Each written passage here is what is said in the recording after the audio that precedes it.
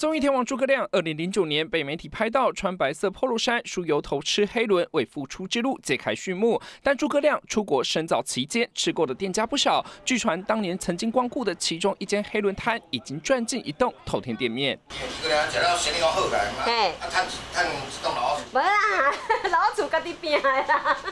黑轮店老板娘感谢诸葛亮光环加持，让生意变好。不过看看他们家的黑轮，其余将果粉浆下锅低温油炸，金黄色外皮撒上胡椒，让人看了食指大动。不少粉丝专程过来，一边吃美食，一边怀念偶像。这样是一个很让人家尊敬的演艺人 人，对，让我可以来对感受他，感受他吃过的感觉。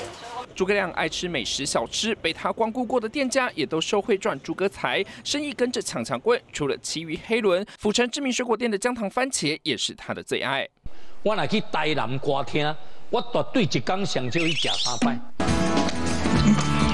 我几十年没吃到安尼呢。十几年没吃到最爱的姜糖番茄，诸葛亮在节目上大力分享，吃得津津有味，也吸引许多粉丝前往打卡品尝。另外，像是恒春知名的香肉美食空肉饭，还有高雄市区的鸭肉饭，也都有许多粉丝 po 文分享，甚至还有人与诸葛亮在同一个空间用餐过，直呼好开心。好像有报道嘛，有报道，我们常常来潮州吃啊。